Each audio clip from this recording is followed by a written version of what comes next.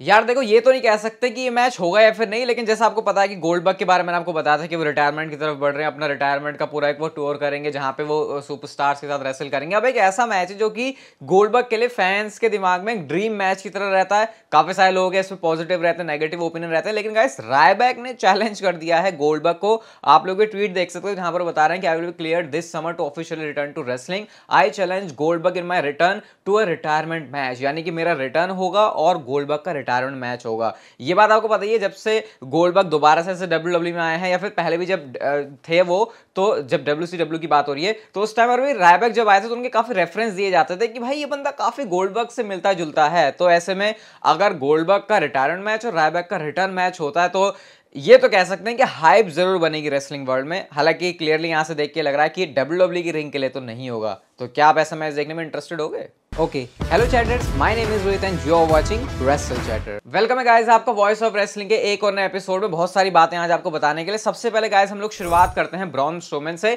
अब ब्रॉन स्टोमन के बारे में आपको बताया था कि उनको कुछ ना कुछ थोड़ी इंजरी वाली प्रॉब्लम हो रही है। कुछ ज़्यादा क्लैरिटी हमको इसके बारे में नहीं मिली थी। लेकिन गाइस एक सैड अपडेट है ब्रॉन स्टोमन के बारे में और वो ये है कि बर्मिंगम एलबामा में गए हैं ब्रॉन स्टोमन एंड वहाँ पर डब्ल्यू का जो है ना, पूरे डॉक्टर्स है, वो इवेलुएट करते हैं चीज़ों को। तो वहाँ से ये पता चला कि प्रॉब्लम तो नहीं पता चला है कि ब्रॉन्स वोमेन को क्या है, लेकिन उनको एक सर्जरी की ज़रूरत है। और सर्जरी का मतलब कि ब्रॉन्स स्टोमैन कुछ एक महीने के लिए अब डब्ल्यू डब्ल्यू से बाहर रहने वाले हैं। आई थिंक ये ब्रेक एक ब्लेसिंग इन डिस्गाइज हो सकता है ब्राउन स्टोमैन के लिए, क्योंकि वैसे भी जब हम डब्ल्यू डब्ल्यू टीवी पर उनके काम की बात कर रहे हैं तो वो कुछ ऐसा नहीं लग रहा कि और भाई भाई क्या ब्राउन स्टोमैन काम कर रहे हैं। तो हो सकता है ये एक ब्रेक वो मच नीडेड भी साबित हो सकता है ब्राउन स्टोमैन के लिए, और जब वो वापस आएँगे तो और भी स्ट्रॉन्ग तरीके से आएँगे। एक बात के लिए मैं आपको सॉरी बोलना चाहूँगा अपोलोजाइज करना चाहूँगा, क्योंकि आज मैंने आपसे कहा था कि जो असली अखाड़ा पॉडकास्ट वीडियो पॉडकास्ट जो मैं वीडियो सीरीज़ की बात कर रहा हूँ, वो आएगा। लेकिन हमने इसको संडे पर मूव कर दिया है। ताकि उन चीज़ों को और पॉलिश किया जा सके और जब वो आपके सामने आएगा संडे को तो आप उससे डेफिनेटली इन्जॉय करोगे तो उसके लिए सॉरी आप लोगों से। अगली स्टोरी की तरफ़ गायस हम लोग चलते हैं और गुंथर ने रिसेंटली अपने एक इंटरव्यू के अंदर बात करी ब्रॉक लेसनर के साथ मैच करने की यूनाइटेड किंगडम में। अभी आपको पता है लंदन में जा रही है डब्ल्यू डब्ल्यू तो इसके बारे में गुंथर बात करते हैं कि सोशल मीडिया पर जो लोग बात करते हैं वो एक अलग चीज़ होती है, लेकिन जब रिंग में तुम देखते हो तो चीज़ें कई बार ऐसा होती है जो सोशल मीडिया पे दिख रही हो, रिफ्लेक्ट नहीं होती। लेकिन गुंथर ने कहा कि कैसे क्राउड का जो रिएक्शन था, वही काफ़ी था। ये बताने के लिए सबको कि सारी दुनिया देखना चाहती है ब्रॉक लेसन और गुंथर का मैच। और यहाँ पे इसी बारे में बात करते हैं वो। उन्होंने इस बात को डिस्कस किया कि कैसे अगर ब्रॉक लेसनर के साथ मुझे मैच मिलता है, जो कि मैं चाहता हूँ तो मेरे लिए बहुत अच्छी बात होगी। और मेरे क्राउड के सामने, यानी कि यूनाइटेड किंगडम में अगर डब्ल्यू e इस मैच को करती है तो ये देखने में और भी मज़ा आएगा। वैसे अगर अभी सब सिनेरियो बैठा के देखें तो क्लियरली यहाँ से लग रहा है कि यूके में अभी जो लंडन में होने वाला मनी द बैंक वहाँ के लिए तो उनका कोई सीन नहीं बन सकता, लेकिन ये एक ऐसा मैच है जो कि डब्ल्यू e को अपनी लिस्ट में ज़रूर से ज़रूर रखना चाहिए, इससे पहले कि ब्रॉक लेसनर फिनिश हो डब्ल्यू कंपनी के साथ में, क्योंकि मैच फैंस इसके लिए काफ़ी ज़्यादा हाइप्ड अप हैं। नेक्स्ट गैस हम लोग कोडी रोड्स के बारे में बात करते हैं और कोडी रोड्स ने कुछ एक ऐसा काम कर दिया जो कि इससे पहले नहीं किया किसी ने, और वो है सेम कैलेंडर में दो गेम्स के अंदर फीचर होना। अभी आपको पता है W W two K twenty three के अंदर कोडी रोड्स फीचर हुए थे, अब ए डब्ल्यू का भी जो गेम निकल के आया फाइट फॉर एवर वहाँ पर भी कोडी रोड्स एक प्लेबल कैरेक्टर है। तो ये बड़ा इंटरेस्टिंग है कोडी रोड्स की तरफ़ से देखना। पहले वो उस कंपनी के लिए काम कर चुके हैं, इस वजह से मुझे नहीं पता कि क्या लीगैलिटी के हिसाब से ऑब्वियसली हो गई तभी गेम के अंदर है वो, लेकिन ये कुछ कुछ ऐसी चीज़ें होती हैं जो पता नहीं होता कैसे हो गई, क्योंकि डब्ल्यू डब्ल्यू कैसे अलाउ कर रही है मुझे नहीं पता। लेकिन फ़िलहाल के लिए अगर हम कोडी रोड्स के बारे में बात करें तो अभी आपको उनका फ्यूचर डायरेक्शन पता ही है। ब्रॉक लेसन के साथ उनको एक और मैच करना, उन्होंने ऑलरेडी चैलेंज भी थ्रो कर दिया है ब्रॉक लेसन के सामने।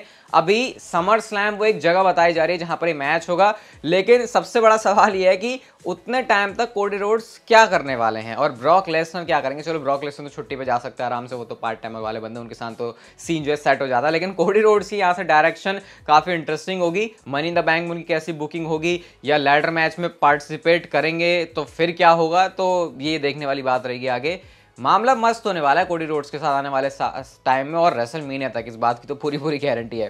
अंडरटेकर ने रिसेंटली कॉर्नर मैग्रेगर के बारे में कुछ एक ऐसी बात बोली है तो अगर आप कॉर्नर मैग्रेगर को सीरियसली नहीं लेते तो शायद अब आप लोग लेना शुरू कर दोगे। अंडरटेकर ने उनके बारे में ये कहा कि वो डब्ल्यू e के अल्टीमेट हील हो सकते हैं। अभी क्योंकि आपको पता है, जो एंडेवर है, उसके साथ पहले से यूएफसी थी, अब डब्ल्यू आ गई तो इनके क्रॉस होने के बहुत ज़्यादा चांसेस है। इवन एक ट्वीट किया था कॉर्नर मैग्रेगर ने समर स्लैम के बारे में रोमन रेंज को काइंड ऑफ़ वो चैलेंज था, लेकिन उसके बाद उन्होंने वाला ट्वीट डिलीट कर दिया। तो उसके बाद से ही बातें चल रही है कि भाई कॉर्नर मैग्रेगर अब डब्ल्यू कंपनी में भी आ सकते हैं। तो अंडरटेकर ने जब उनको ऐसा कहा है तो भाई, तुमको कुछ ना कुछ तो वैल्यू देनी पड़ेगी, क्योंकि बहुत सारे लोग जो यूएफसी फॉलो नहीं करते, वो कहते हैं, कौन है ये बच्चा सा, छोटा सा तो दिख रहा है, क्या करेगा?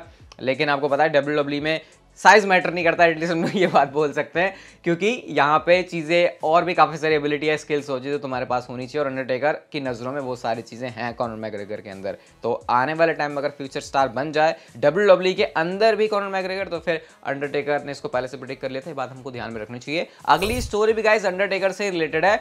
और इससे हम भी काफ़ी सारे लोग रिलेट कर सकते हैं। अब आप किस किस सिचुएशन में इससे रिलेट करोगे मुझे बताना। मैं कोई बात नहीं बोलूँगा क्योंकि मेरा एग्ज़ाम्पल तो आपको पता ही है किस तरीके के होते हैं। तो अंडरटेकर ने ये कहा कि जब मैं घर पे बैठा होता हूँ, मैं डब्ल्यू डब्ल्यू देख रहा होता हूँ तो मुझे इतना कोई लगता नहीं है कि मैं कोई चीज़ मिस कर रहा हूँ। लेकिन जब मैं एक्चुअल में जाता हूँ डब्ल्यू डब्ल्यू बैक से, जैसे मैं रेसमे थर्टी नाइन में गया था तो मैं जब चेयर पर बैठा हुआ था तो मैं ये सोच रहा था कि मैं यहाँ क्यों बैठा हूँ? मैं रिंग में क्यों कंपीट नहीं कर रहा? तो स्टिल अंडरटेकर के दिलों और दिमाग में डब्ल्यू डब्ल्यू बसी हुई ये बात उन्होंने खुद यहाँ पर बोली। और मुश्किल तो है भाई अंडरटेकर के लिए। इतने साल से वो काम कर रहे हैं, फिर अचानक से वो छोड़ना पड़े। और छोड़ना पड़े मैं कहूँगा, क्योंकि अभी आपको लगेगा, पड़े वाली क्या बात है? रिटायर तो हो गया बंदा आराम से, लेकिन अंडरटेकर की बॉडी थक चुकी है। उनका दिमाग अभी भी नहीं थका है कि वो एक मैच जाके रेसल करे रेसलिंग रिंग के अंदर। तभी हमने देखा था कि वो जो बोनियार्ड मैच है, जो एज स्टाइल के साथ उन्होंने डिलीवर किया था, क्योंकि उसमें फिर बॉडी थक रही है, उससे, उसका एक तरीका निकल गया था कि ऑलरेडी मैच पहले से फ़िल्म किया गया था, और इसीलिए हमने वो जो परफॉर्मेंस है अंडरटेकर और एज स्टाइल्स की एकदम कमाल की देखी थी। आपकी किस सिचुएशन से रिलेट करते हो,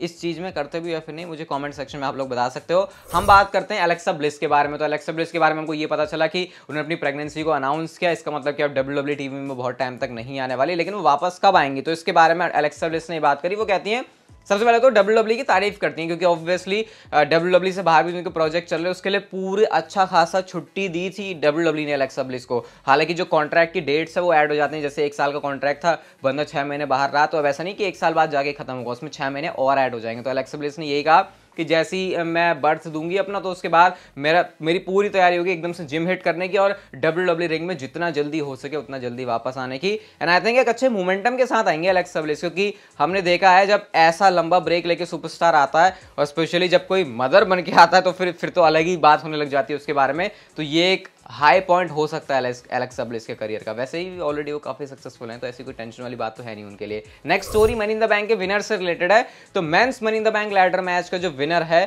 वो कौन सा सुपरस्टार होगा? उसमें जो इस समय लीडिंग बंदा चल रहा है, वो कोई और नहीं, बल्कि एले नाइट है।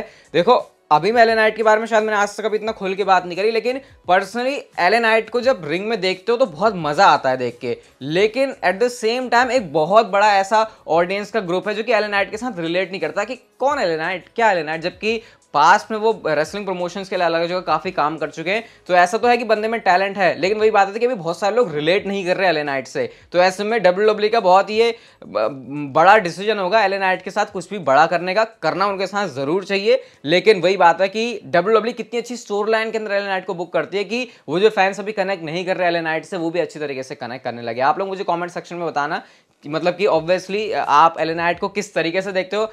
As in ring performer mic skills के मामले में काफ़ी अच्छे लेकिन मैं कनेक्ट कनेक्ट करने वाली चीज़ के बारे में बात कर रहा हूँ। अलग से आपका क्या इसके ऊपर ओपिनियन है। अगली स्टोरी की तरफ़ हम लोग चलते हैं और पैट मैकफी के बारे में बात करते हैं, जिन्होंने एक टाइम पर बहुत अच्छे अच्छे हमको डब्ल्यू डब्ल्यू रिंग में मैचेस दिए। अभी फ़िलहाल उनके बारे में ये अपडेट है कि समर स्लैम में डब्ल्यू डब्ल्यू उनका एक मैच प्लान कर रही है और उससे पहले तक डब्ल्यू डब्ल्यू उनके बारे में अभी डिसीज़न बना रही है कि कौन अपोनेंट होगा या फिर क्या होगा। तो मोस्ट प्रॉब्ली पैट मैकफी का रेसलिंग रिटर्न आपको इस साल की समर स्लैम के अंदर देखने को मिल जाएगा। एक छोटी सी अपडेट है पैट मैकफी के बारे में। अगली स्टोरी रिया रिप्ली से रिलेटेड है सेथ रॉलिन से रिलेटेड है। मंडे नाइट रॉ का वाला एंगल तो फैंस को हमेशा याद रहने वाला है, जो सेथ रॉलिंस ने कंधों पर हाथ रखा था रिया रिप्ली के। तो रिसेंटली एक इंटरव्यू में उस चीज़ को पूरा ब्रेक डाउन किया रिया रिप्ली ने। वो कहती हैं कि आ, जब मेरे कंधों पर हाथ आया तो मुझे लग, मुझे लगा कि मेरा डॉम डॉम है। लेकिन मैंने एक आवाज़ सुनी जो मुझे समझ में आएगा कि ये बिल्कुल भी मेरे डॉम डॉम की तो है नहीं और जब मैंने उधर देखा तो सेथ रॉलिंस को देख के भाई फिर तो मैं पागल ही हो गई। फिर उन्होंने ये कहा कि आ, अच्छा नहीं लगा उनको ये देख के। और डेफिनेटली जो डॉम डॉम है वो इसके बारे में कुछ करेगा ज़रूर। तो ऐसा करके रिया रिप्ली ने यहाँ से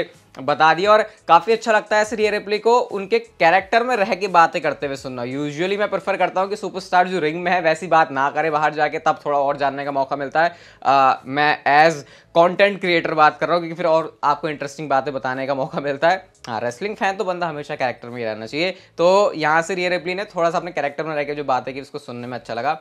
अब देखते हैं क्या सीन बनता है आगे सेथ रॉलिंस के साथ में। लगता है बहुत भारी गलती कर दी है सेथ रॉलिंस आज की नेक्स्ट एंड फाइनल स्टोरी की हम लोग बात करते हैं। सबसे पहले मैं आपको रोमन रेंज का वाला ट्वीट दिखाता हूँ, जहाँ पर वो लिखते हैं Tough times made me the tribal chief I am today, the greatest of all time. Thousand days as the undisputed best in the world has to acknowledge me. Hashtag Smackdown. उन्होंने उन्होंने undisputed best in the world I think इसलिए लिखा क्योंकि undisputed tag team champions भी हैं तो इसलिए उन्होंने अपने आप को सबसे अलग करने के लिए बोला इस पर डब्ल्यू e ने रिप्लाई किया रोमन रेंज को कोट करके उन्होंने रीट्वीट किया और यहाँ पर लिखते हैं एंड टुमारो वी सेलिब्रेट और वी द वन की उन्होंने इमोजी थ्रो किया अब गाइस एक बहुत मेजर अपडेट है रोमन रेंज के बारे में अब मैंने आपको एक दो दिन पहले वीडियो के अंदर बताया था कि डब्ल्यू का टाइटल को मर्ज करने का कोई प्लान नहीं है। इस समय रोमन रेंज को भली वेबसाइट के ऊपर अनडिस्प्यूटेड डब्ल्यू यूनिवर्सल चैंपियन दिखाया, लेकिन यूनिवर्सल चैंपियनशिप अलग है डब्ल्यू चैंपियनशिप e अलग है। हालाँकि दो तीन महीने पहले हमको ये बात भी सुनने को मिल रही थी कि एक सेपरेट टाइटल रोमन रेंज के लिए लेके आया जाएगा। अब इतनी सारी कंफ्लिक्टिंग रिपोर्ट्स होती है कि समझ में कुछ आते नहीं है कि क्या चल रहा है।